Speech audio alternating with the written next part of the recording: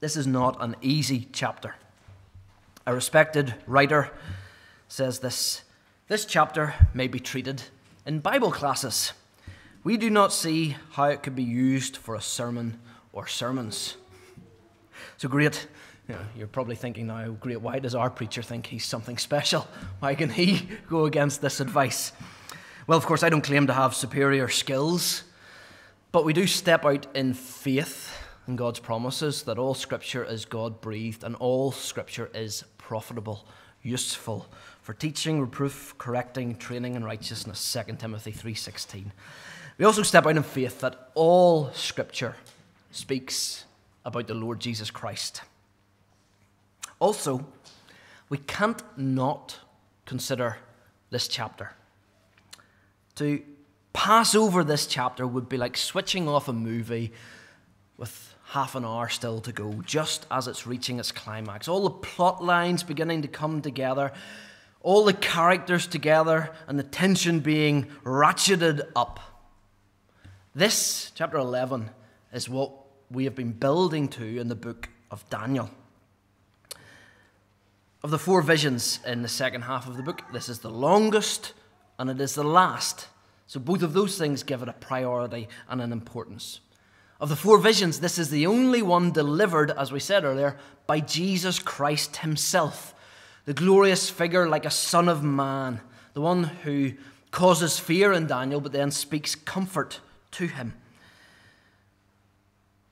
And we saw last week, or two weeks ago, in chapter 10, that even to bring this vision, there had to be a mighty struggle. Chapter 10, verse 12. It comes in response to Daniel praying and fasting for three weeks. Chapter 10, verse 13. Uh, the Son of Man speaks of how he was opposed in spiritual warfare. It cost a lot to bring this vision, this chapter to us. This is the climax of the book. This is what has been building up to, so we can't skate over it or ignore it. So it might be hard but it is definitely worthwhile. And my prayer is that we'll see that by the end of today, and also that it might not be too hard for us. There are two simple lessons in this chapter that are brought to us with power. Jesus Christ is Lord of history and of our suffering. Jesus is Lord of history and of our suffering. And the key to understanding this chapter is understanding that this is Jesus Christ speaking. The description in chapter 10, the voice, the appearance, the clothing, they are divine. And it's the same as the appearance of Jesus in Revelation chapter 1. Daniel's response to this figure in chapter 10, falling in fearful reverence, that's a response befitting meeting the glorious Son of Man the God man. This glorious Son of Man's response to Daniel is the same as Jesus' response to John in Revelation chapter 1. He touches him to strengthen him, and he speaks his word to him to comfort him. And so the point is the key to understanding this chapter is that this is a message of the Lord Jesus Christ to his people and for his people. He speaks in all of God's word but he is speaking particularly in this part. We could say that. Or he's speaking more directly in this part, at the climax, at the end of the book of Daniel. And a simple message Jesus Christ is Lord. First of all, we want to see how Jesus is Lord of history. Jesus is Lord of history. There are many things in Daniel that scholars disagree on. There tends to be a big divide between liberal scholars and conservative scholars. Liberals take one view of who wrote the book, when it was written, when the visions happened, when they described, and conservative scholars tend to take another view. But nearly everybody, despite the vast divide in them, is agreed that chapter 11 is a detailed description of events in the 500 years before Jesus Christ.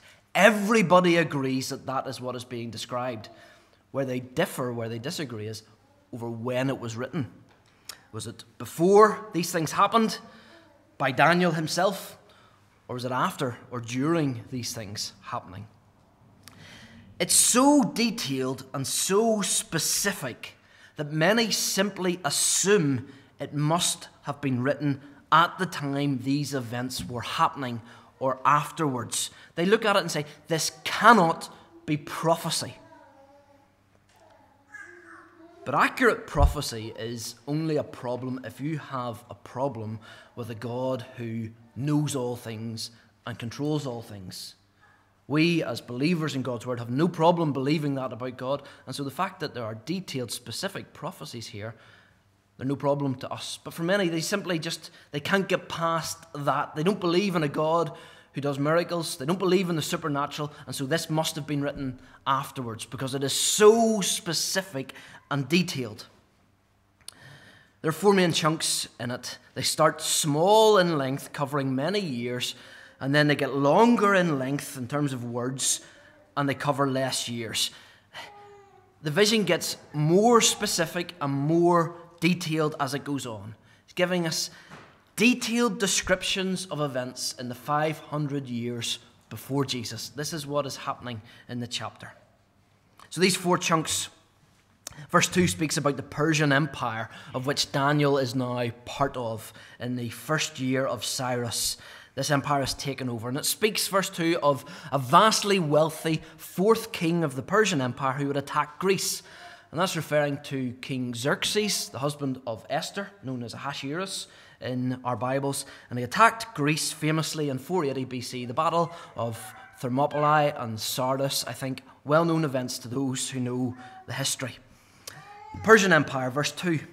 Verses 3 and 4, as I mentioned to the boys and girls, the Greek Empire. We're told that a mighty king will do as he pleases, but will suddenly be broken. Alexander the Great, conquering the entire world in 10 years, dying at the age of 32 in 323 BC. His empire uh, broken up and divided into four amongst his generals, not his sons, not his descendants. And if it's helpful uh, to realize, verses 2 to 4, the Persian and the Greek Empire, they cover the same time period as chapter 8, the vision of the ram and the goat. The third chunk is from verse 5 through to verse 20, and it describes conflict between the northern kingdom and the southern kingdom. And then the last section is verses 21 to 35, zooming in particularly on one king of the north. Now, I want to minimize the amount of history that I give here. I, I could go through it in detail and show how each verse has been remarkably fulfilled. But most of us, myself included, we're not familiar with this time period, and I think to do so would simply leave a fog of Ptolemies, Seleucids, and Antiochus. Sounds like a bunch of flowers, doesn't it? And we just would be left with a bit of a fog. So I'm going to sketch out the bare minimum of this. First of all, Alexander the Great conquers the known world. He dies young with no obvious successor. His generals grab power and split his empire up four ways. And the, the four empires are, are uh, on that map. Doesn't uh, matter greatly for you to, to know that. But there are two main empires that come out of Alexander the Great in Greece. Two main ones that come out of the four. The Seleucids, who rule over Syria, uh, at the top there in the green, Syria and Babylon. And then the Ptolemies in the south ruling over Egypt. And these two kingdoms are known as the kingdom of the north and the kingdom of the south in Daniel chapter 11. So we're talking about Syria and Egypt, two kingdoms, two empires. And in some ways, that's the first striking thing about Daniel chapter 11. Again and again, these two world empires that ruled for